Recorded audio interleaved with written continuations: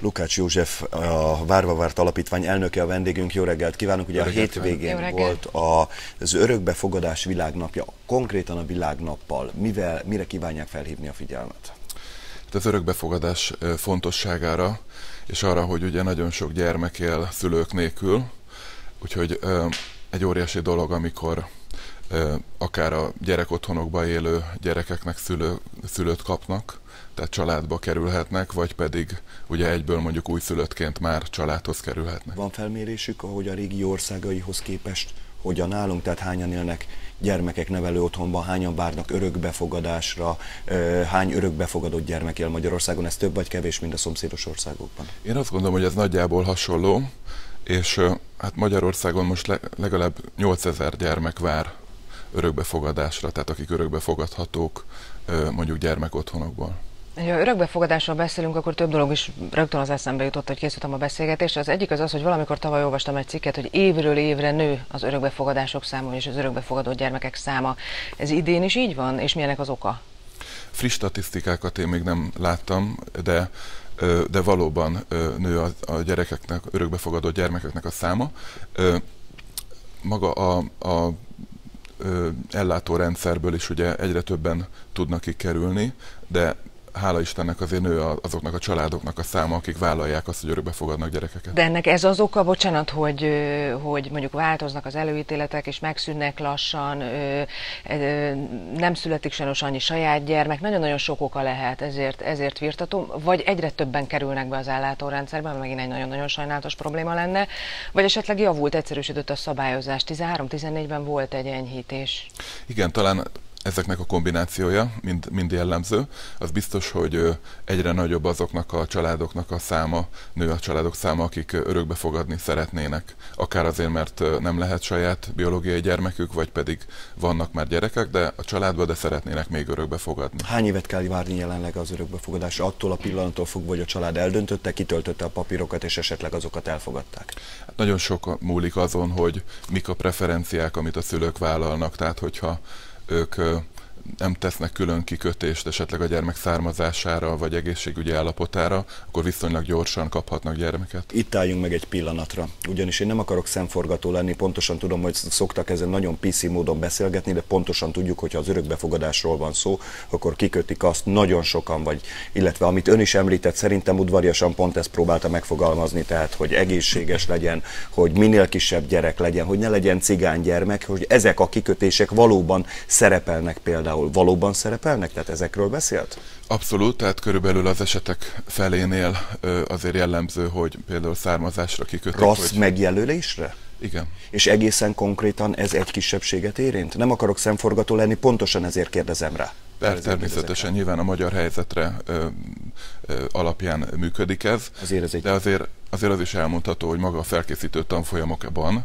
viszont olyan információkat kapnak a, a párok, hogy nagyon sokan változtatnak a döntésükön, és azt mondják, hogy eddig azt mondtuk, hogy mi vagy a szélesebb családunk nem tudta volna elképzelni, hogy mondjuk egy roma kisgyereket örökbe fogadjunk, de aztán a tanfolyam után megváltoznak, és azt mondják, hogy most már elfogadjuk. És a kor? Az mennyire visszatartó erről? Hát valóban ott, ott mindenki minél kisebb életkorú gyermeket szeretne, de nagyon sikeres örökbefogadásokat látunk, amikor két, három, négy, öt éveseket is fogadnak örökbe. Azt meg tudja mondani, említett az előbb egy számot, hogy most jelen pillanatban hány örökbefogadható gyermek van, hogy a korosztály ebben hogyan alakul? Mert ennyien örökbefogadhatóak, de jóval kevesebbet fogadnak egy évben örökbe. Igen, sajnos ugye amikor már 5-6 éves korukban, vagy korukban elmúltak ez a gyerekek, akkor már nehezebben fogadják őket örökbe, és ő belőlük van a legtöbb. Tehát gyakorlatilag egy kb. 60%-a a gyerekeknek az már nagyobb életkorú, mint ez az úgymond nagyon preferált időszak. Akkor, amikor azt mondta, hogy jelentős különbség van az örökbefogadásra várás ideje között, hogyha valaki tesz kitételeket vagy nem. El tudja mondani, hogy mi a minimum és mi a maximum? Tehát a szülőpár, amelyik azt mondja, hogy semmiféle kritérium szeretnék egy gyermeket, és mindenképpen bárki de örökbe fogadnak, nyilván a beszoktatás után, vagy az ismerkedés után, és mennyi a különbség időintervallumban a között, aki sok kitételt tesz?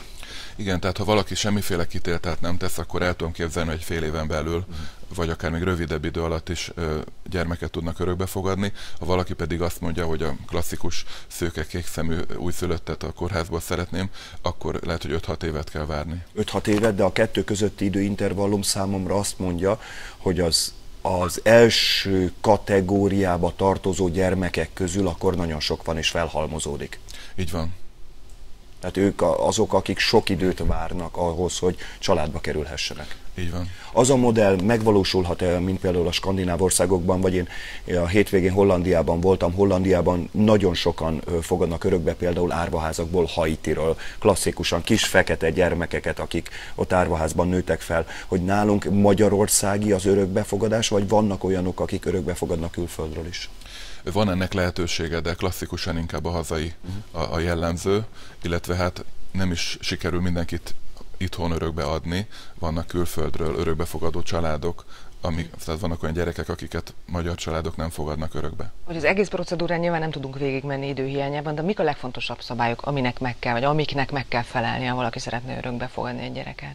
Magyar állampolgárok tudnak Magyarországon örökbe fogadni, házaspárok, vagy egyedülálló személyek, és nyilván olyan anyagi körülmények között kell éljenek, tehát lakhatási körülményeket kell biztosítsák, el kell végezzenek egy nagyon jó felkészítő tanfolyamot, és mindezek után kapnak egy határozatot, ami két évre szól, és két évig akkor az általuk megjelölt preferencia szerint fogadhatnak örökbe egy vagy kettő, vagy akár több gyermeket is, és utána ez a határozat hosszabbítható határozat hosszabbítható. Annyira, bocsánat, annyira egyszerűnek tűnt, de hát mégis, hogyha az, az, az arról beszélünk, hogy örökbefogadás, az jut eszünkbe azonnal, hogy ez egy borzalmasan hosszú, bürokratikus, túlszabályozott folyamat. Ez előítélet, ez már nincs így? Van egy túlszabályozottság benne, vagy hogy is mondjam, egy, egy, egy folyamat az egésznek, amit én nem feltétlen tartok rossznak. Ugyanis ebbe a folyamatban azért megpróbáltatik a házaspár úgymond, hogy ő valóban föl tudott-e készülni erre a helyzetre, vagy nem. De ez pont azt szűri ki, hogy ne legyen az örökbefogadás felbontása. Ugye néha ez is előfordult, néhány sikertelen esetben, de, de pont ebből akarjuk a gyerekeket megkímélni. Az örökbefogadásnál mindig a gyermek érdeke a legfontosabb, és ezért ő keresünk szülőket. Egy végszót kérnék szépen, abban egyetért velem, aztán nyugodtan mondhatja azt, hogy nem, hogy a hat év azért sok, tehát a hat év várakozási idő sok?